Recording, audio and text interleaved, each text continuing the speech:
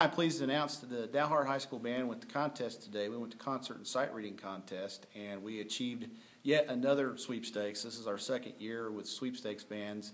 Sweepstakes is ones in marching, ones in concert, and ones in sight reading. And uh, it's been 19 years since we've had two consecutive sweepstakes, and we're really pleased with the way things are going, and we're looking forward to next year.